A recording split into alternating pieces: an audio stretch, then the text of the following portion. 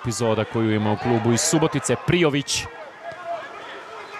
Bjelović, lepo odigrano, šansa velika, vodi Spartak 1-0.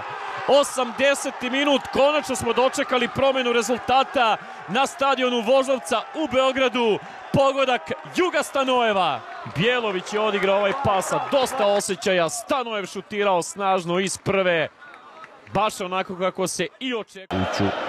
ekipu. Novi centrašut. Kakav gol! Iz kornera gol, Partizan 0, TSC 1, treći minut. Čirković je pogodio direktno iz kornera. ili Udovičić da vidimo ko će preuzeti odgovornost. Dobar pokušaj, kakav gol. Kakav gol, Aleksandar Varjačić, četvrti pogodak ove sezone, velika radost za Lučance u 19. minutu meča.